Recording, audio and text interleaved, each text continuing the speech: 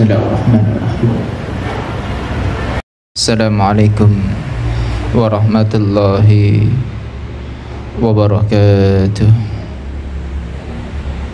إن الحمد لله نحمده ونستعينه ونستغفره ونعوذ بالله من سرور أنفسنا ومن سيئات أعمالنا من يهد الله فلا مضل له ومن يضلل الله فلا هادي له. أشهد أن لا إله إلا الله وحده لا شريك له.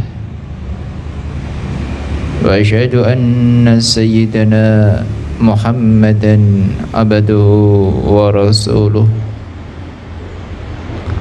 اللهم صل وسلم وكرم ومجد على نبينا وحبيبنا ونور قلوبنا ومولانا محمد وعلى آله وأصحابه الطاهرين. ومن تبعهم بإحسان إلى يوم الدين ولا حول ولا قوة إلا بالله العلي العظيم أما بعد kami cintai yang kami muliakan para guru-guru kami semuanya wabil khusus Abu Yahya Semoga beliau-beliau dirahmati oleh Allah dan diangkat derajatnya oleh Allah. Dan semoga kita semuanya yang mengambil ilmu kepada beliau kelak di akhirat dikumpulkan oleh Allah dengan guru-guru mulia kita semuanya. Qala muallif nafa'ana bihi wa bi'ulumina fid dharaini amin. Wa min fadha'il anna fihi lailatul qadri allati hiya khairum min alfi syahr sebagian dari keutamaan keutamaan bulan Ramadan. Sesungguhnya fihi di dalam bulan Ramadan ada lailatul qadr ada malam lailatul qadr. Ini kemuliaan yang Allah berikan khusus kepada bulan Ramadan. Karena sesungguhnya di bulan Ramadan itu ada Lailatul Qadar. Yang mana sifatnya Lailatul Qadar adalah allati hiya khairun min alfi syahr yang mana Lailatul Qadar allati hiya adalah sebuah malam khairun yang lebih baik.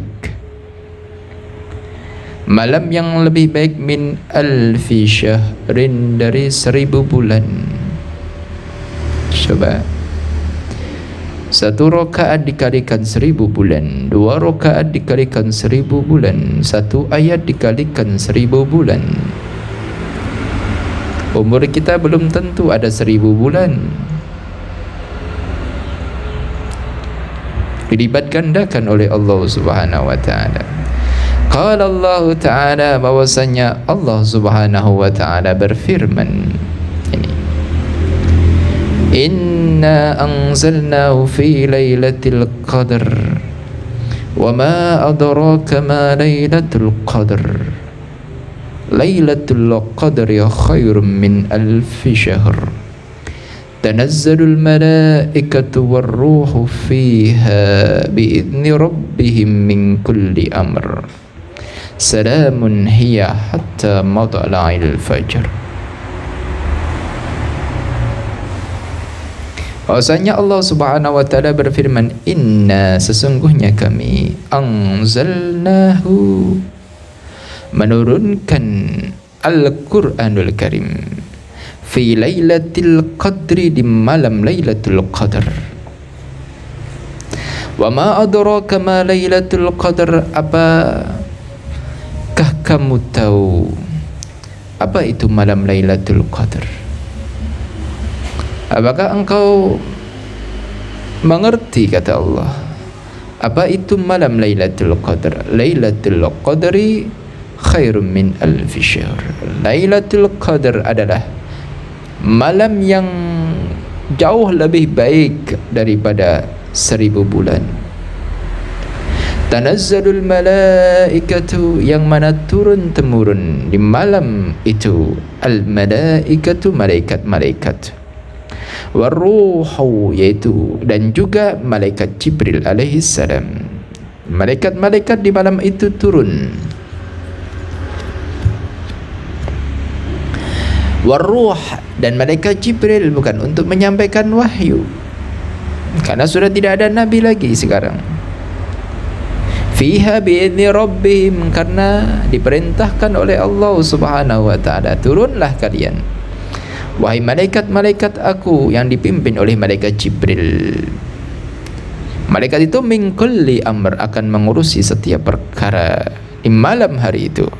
Salamun hiya hatta matla'il fajr. Ketenangan di malam itu keselamatan di malam itu. Hatta matla'il fajr sampai datangnya waktu fajar. Inilah malam yang dimuliakan oleh Allah Subhanahu wa taala yang mana letaknya pasti di bulan Ramadan. Makanya kita semuanya ayo. Di bulan Ramadan mulai dari awal bulan Ramadan. Sampai akhir bulan Ramadan ayo kita tingkatkan ibadah kita. Terutama di malam-malam hari kita. Di siang hari juga iya. Ayo kita tingkatkan. Ijma' ulama bahwasanya malam Lailatul Qadar letaknya pasti di bulan Ramadan. Entah tanggal 1, tanggal 2, tanggal 3 sampai akhir bulan Ramadan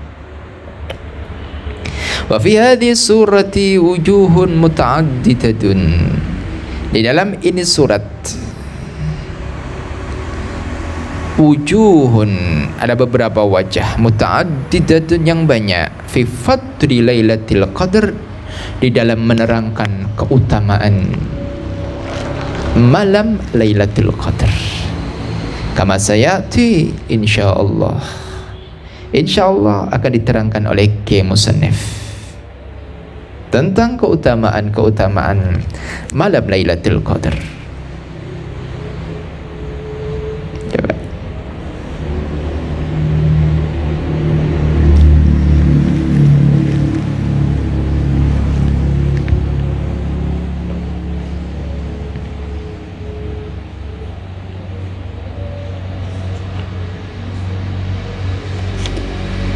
Amma wajhu tasmiyatiha Lailatul Qadar. Pendapat ulama. Yes, pendapat ulama. Kenapa sih di malam itu disebut malam Lailatul Qadar itu apa? Kenapa kok ulam? Kenapa kok malam itu itu disebut malam Lailatul Qadar? Pendapat ulama Fakila pendapat ulama al-qadru huwa ma'nahu al-miqdaru wal fadlu wasyarafu. Al-qadru Lailatul Qadar. Al-qadru makna qadru di sini adalah al-miqdar adalah derajat wal fadlu adalah keagungan wasyarafu dan kemuliaan. Intinya itu malam yang agung, malam yang mulia. Itu syiar-syiar dari agama Allah. Kita tidak boleh merendahkan malam Lailatul Qadar. Meremehkan malam Lailatul Qadar. Karena kenapa? Disebutkan di dalam Al-Quranul Karim kalamullah yang maha suci. Inna anzalnahu fi Lailatul Qadar. Wa ma adraka ma Lailatul Qadar. Maknanya Lailatul Qadar adalah Al-Fadlu Agung itu malam Wasyarafu dan mulia itu malam Wasumiyat bidhalika li'annaha adimatul qadri wasyani Kenapa? Dinamakan itu malam adalah qadar. Karena itu malam adalah malam yang agung yang besar. Besar pangkatnya. Besar agung derajatnya. Ini seperti halnya seorang yang disebut adalah al-qadru. Berarti ya dia itu agung syarafun wa fadlun punya kelebihan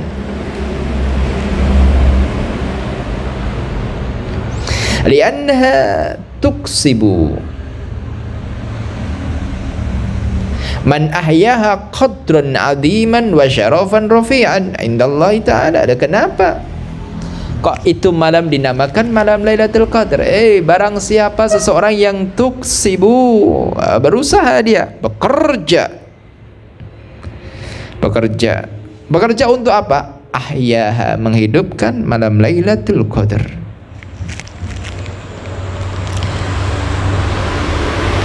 hidupkan malam-malam bulan Ramadan mengkoma Lailatul Ramadan mengkoma Ramadan imanan mengkoma Lailatul Ramadan imanan wa ihtisaban. Ufira lahu ma taqaddam min dhanbihi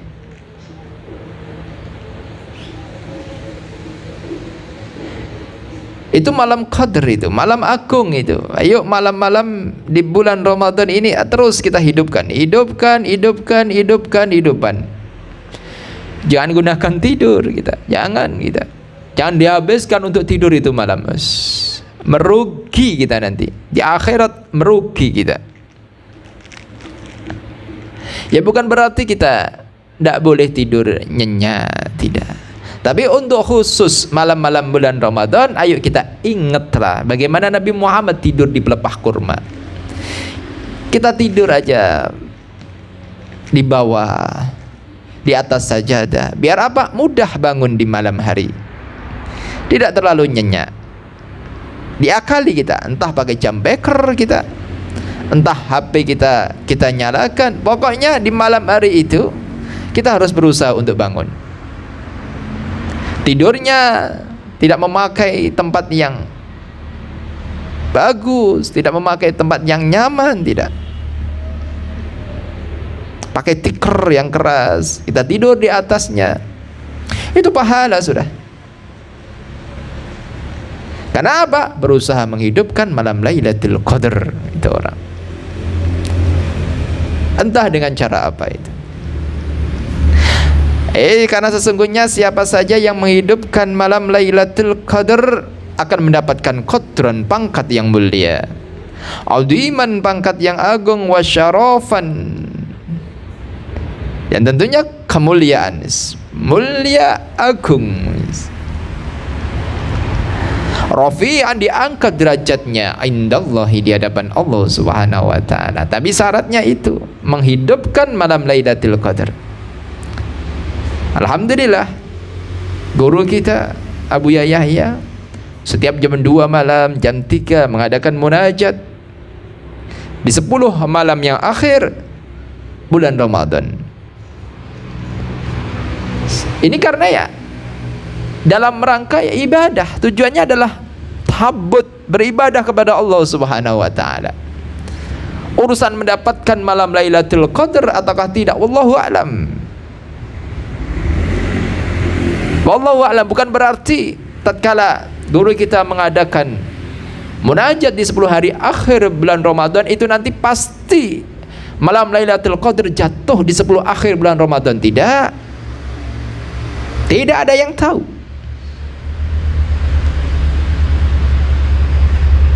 Yang jelas malam Ramadan semuanya ini memungkinkan ada salah satu di antaranya malam Lailatul Qadar Jadi bukan pasti ini nanti di salah satu. Jadi pasti nanti jatuh di 10 akh, 10 hari akhir di bulan Ramadan tidak. Ini niat taqarruban ilallah sudah. Niat apa? Menghidupkan malam-malam bulan Ramadan juga. Karena dengan menghidupkan malam-malam bulan Ramadan itu sudah berlipat ganda itu. Syukur-syukur di situ. Alhamdulillah mendapatkan malam bulan malam Lailatul Qadar itu karunia yang besar, rezeki yang besar yang Allah berikan kepada hamba-hambanya yang Allah kehendaki. Ya kita karena sunnah Nabi kita aja sudah. Karena perintah Nabi di situ ayo nyari malam Lailatul Qadar kita itiba jadi nyari malam Lailatul Qadar itu ya sunnah Nabi Muhammad gitu nyari yang penting nyari. Di malam-malam hari bulan Ramadan nyari niatku nyari malam Lailatul Qadar itu sunnah entah dapat atau tidak fatawakal Allah kita pasrahkan semuanya kepada Allah Subhanahu wa taala. Yang jelas perlu kita bangga dan senang ketika kita mampu menghidupkan malam-malam bulan Ramadan bersama dengan Allah. Munajat kepada Allah. Itu keutamaan yang besar sudah. Allah mentakdirkan kita ahli ibadah. Allah mentakdirkan kita ahli sujud itu adalah karunia yang besar yang Allah berikan kepada kita. Urusan mangsilah urusan derajat Allah yang maha tahu itu. Derajatku seberapa ya di hadapan Allah? Derajatku seberapa ya di hadapan Allah? Wallahu alam. Allah yang maha tahu sudah. Yang penting tugas kita sadar diri kita seorang hamba. Kalau seorang hamba ya sujud kepada Khalik kepada zat yang menciptakan kita itu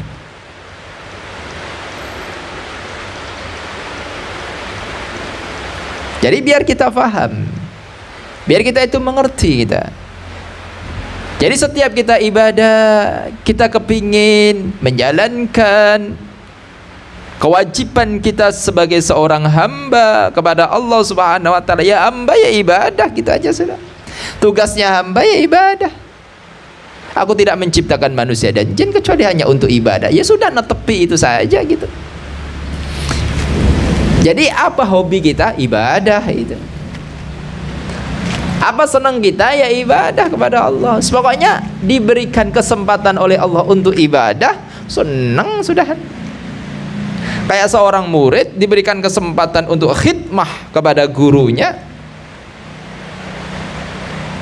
Ada kesempatan untuk khidmah kepada gurunya, itu merupakan yang didamba-dambakan seorang santri. Dan harusnya seperti itu kita. Kita didik anak-anak kita. Kita didik anak-anak kita. Nah, ilmu nomor dua. Nomor utama apa? Akhlak muna. Hikmah muna. Bukan berarti kita mengharamkan ilmu, tidak. Tatkala engkau itu bisa khidmah kepada gurumu, itu adalah lagat kenikmatan yang tidak tercapai itu. Walaupun engkau tidak mendapatkan apa-apa dari gurumu itu.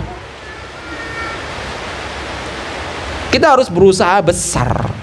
Besar jiwa kita. Sebagai seorang santri ya seperti itu. Besar jiwa. Tidak di pikiran kita sebagai seorang santri aku nanti khidmah dapat apa ya dikasih pondok sama guruku. Allah. Aku nanti khidmah dapat apa dapat duit ya guruku. Khidmah apa? Yang penting bisa khidmah kepada gurunya. Berakhlak mulia kepada gurunya ini. Entah gurunya ridha ataukah tidak. Itu di luar kemampuan kita. Tapi kita berharap guru kita ridha kepada kita. Ya jelas. Kita berharap guru kita ridha kepada kita tapi yang terpenting kita adalah khidmah khidmah khidmah. Mengambilkan makanan untuk guru nikmat. Alhamdulillah kemarin saya bisa mengambilkan makanan untuk guruku. Alhamdulillah kemarin saya bisa membarang, memba, membawa barangnya guruku. Wes, pokoknya ini adalah kenikmatan. Sama. Kita kepada Allah subhanahu wa ta'ala. Kita bisa menetapi perintah Allah subhanahu wa ta'ala ayo kita latih kita Jangan kita itu tomak. Ya memang Allah Subhanahu wa taala senang diminta senang kita. Tapi apa? Kalau kita tomak sesuatu hal kepada Allah Subhanahu wa taala apalagi tomak kepada dunia ternyata apa yang kita tomai tidak terwujud nanti apa patah ibadah kita naudzubillah aku ibadah seperti ini nanti dapat apa ya dari Allah? Oh nanti aku dapat bahagia di dunia dan di akhirat ya dari Allah. Masalah itu nanti. Ternyata di dunia tidak bahagia. Ternyata di dunianya miskin. Ternyata di dunianya ini fakir. Ternyata di dunianya banyak yang memusuhinya banyak yang mendengkinya banyak yang iri kepadanya akhirnya dia aduh apa gunanya ku solat kalau seperti ini? Solatku hikmahnya apa? Faedahnya apa? Allah. Yang penting kita sebagai seorang hamba bagaimana kita tekun sujud kepada Allah bagaimana kita memperbaiki sujud kita kepada Allah bagaimana kita itu memperbaiki keikhlasan kita kepada Allah Subhanahu wa taala. Urusan dapat atau tidak dapat balasan dari Allah Subhanahu wa taala ataukah tidak mendapat balasan dari Allah Subhanahu wa taala itu kita serahkan kepada Allah Subhanahu wa taala fa azam tafattawakkal ala Allah Ya tawakal kepada Allah Subhanahu wa taala. Ini penting kita. Jadi kita tidak akan tomak. Kita tidak akan tomak jabatan. Kita latih seperti itu. Khidmah baik sama guru. Nanti dapat jabatan ini, dapat jabatan ketua pondok, nanti jabat dapat dapat jabatan ketua yayasan. Oh naudzubillah. Akhirnya otak kita ke situ. Naudzubillah.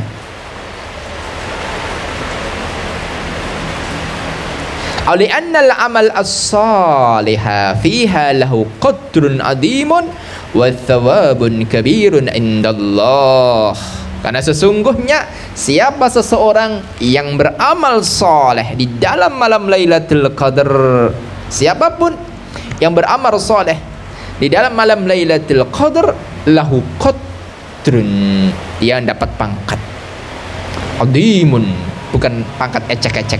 Pangkat yang besar. Pangkat yang mulia. Coba. Wa thawabun hmm, pahala. Indah ini yang kita nanti-nantikan di dalam kehidupan kita ketika kita dikasih hadiah pahala oleh Allah. Dikasih sesuatu oleh guru kita Allah. Kalau kita memuliakan guru kita apapun yang diberikan oleh guru kita oh kita dekat itu. Kita cium itu. Apalagi suatu hal yang diberikan oleh Rasulullah. Walaupun itu adalah perkara yang kurma satu biji mungkin kurma dua biji. Kalau ini pemberian dari Nabi Muhammad alangkah besarnya yang kita pandang bukan kurmanya saja tapi yang kita pandang adalah siapa yang memberikannya. Dikasih anggur sama Nabi Muhammad buah anggur satu dompel oh ini ini di balik ini ada Nabi Muhammad. Karena keagungan kita kepada sang Nabi wa thawabun kabirun dan pahala yang besar ini yang kita tunggu-tunggu sebagai seorang hamba kepada Allah Subhanahu wa taala. Bidzalika kana al-amal as-salihu fiha khairun min al-amal fi alf syahr. Dan dikarenakan itu dinamakan malam yang agung, malam yang punya derajat yang tinggi.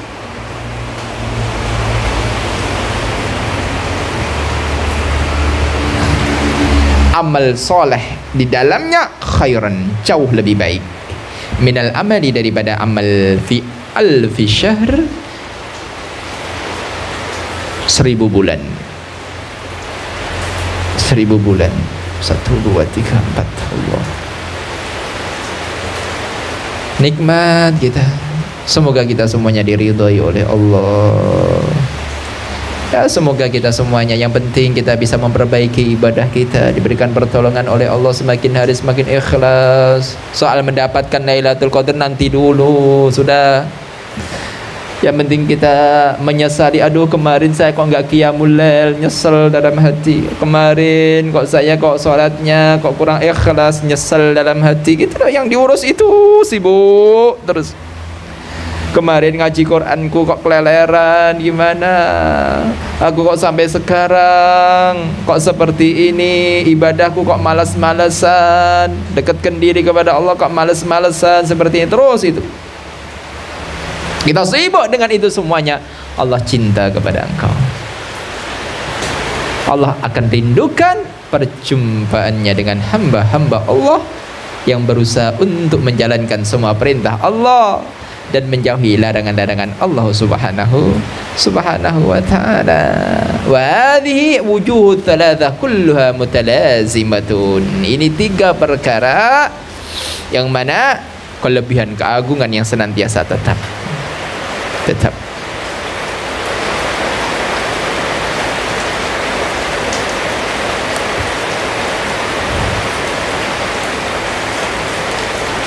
itulah malam Lailatul Qadar sini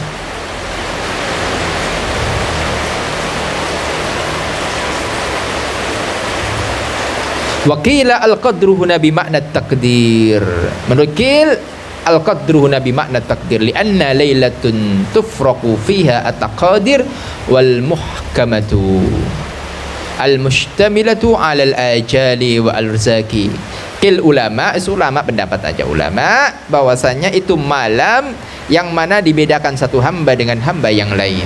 Takdir hamba satu dengan takdir hamba yang lain.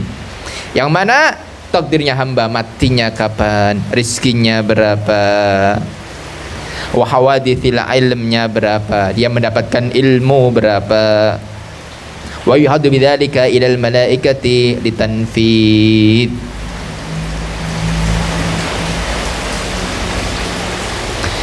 dan ditugaskan dengan itu semuanya mencatat takdir ini semuanya ilal malaikati terhadap para malaikat-malaikat Allah Subhanahu wa taala litanfidhi supaya mereka mencatat. Qala Allah taala hamim wal kitabil mubin inna anzalnahu fi lailatul mubarakah inna kunna munzirin. Fiha yufraqu kullu amrin hakim. Ya ulama ini pendapatnya dari dari ayat ini hamim wal kitabil mubin dengan kitab demi kitab yang mubin yang jelas yaitu Al-Qur'anul Karim Inna sesungguhnya kami anzalnahu fi lailatin mubarakah. Kami menurunkan itu kitab Al-Quran fi lailatin mubarakah di malam yang mubarakah. Inna kunna mungzirin sesungguhnya kami adalah zat yang menakut-nakuti kalian dalam maksiat neraka.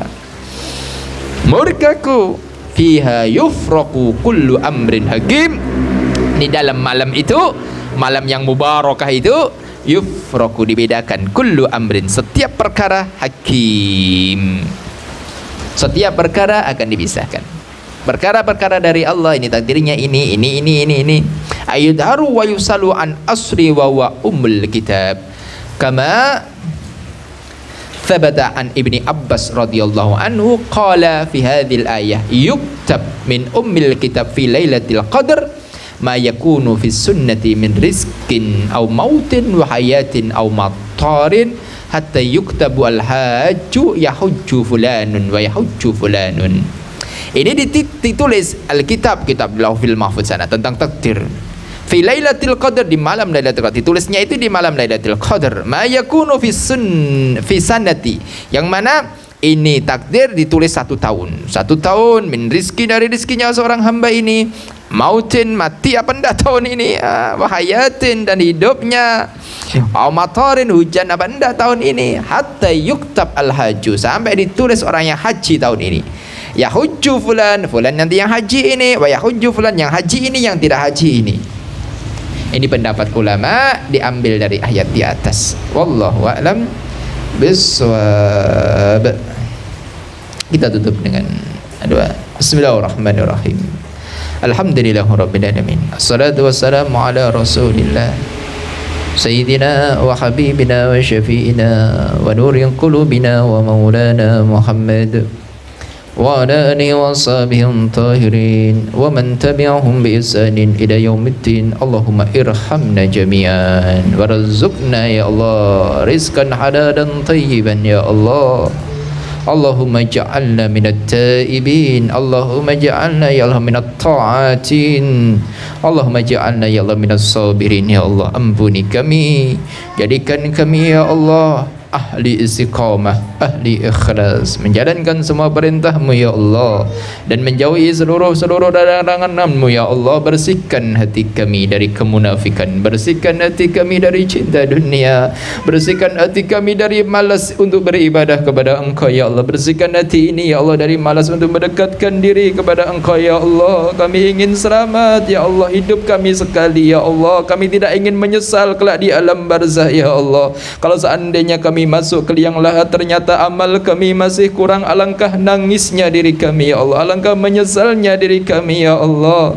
Kami tidak ingin itu terlaku di dalam diri kami ya Allah. Kami ingin ya Allah masuk di alam barzah dalam keadaan tidak membawa dosa ya Allah. Tapi kami ingin ya Allah masuk di alam barzah ya Allah dalam keadaan membawa amal yang begitu banyaknya ya Allah. Membawa solat kami yang begitu banyaknya. Membawa puasa kami yang begitu banyaknya. Yang membawa bacaan Al-Quran kami yang begitu banyaknya membawa zikir kami seluruh ibadah kami yang begitu banyaknya ya Allah. Ya Allah kami ingin kembali kepada engkau dalam keadaan kau ridha ya Allah. Bukan yang kau murkai ya Allah. Kami ingin kembali kepada engkau dalam keadaan muslim bukan dalam keadaan kafir kami ingin kembali ya Allah kepada Engkau ya Allah dalam keadaan saleh ya Allah bukan dalam keadaan fasik ya Allah. Kami ingin kembali kepada Engkau ya Allah dalam keadaan kami bersujud kepada Engkau ya Allah bukan dalam keadaan bermaksiat kepada Engkau ya Allah. Ya Allah kami mohon ya Allah mudahkan kami ya Allah untuk belajar ilmu syariat ya Allah cintakan kami kepada ulama, cintakan kami kepada zuriat Nabi, cintakan kami ya Allah kepada para sahabat-sahabat Nabi dan tentunya ya Allah cintakan kami kami kepada Sayyidil Wujud Sayyidina Muhammadin sallallahu alaihi wasallam. Dan wafatkan kami husnul khatimah. Husnul khatimah husnul khatimah husnul khatimah.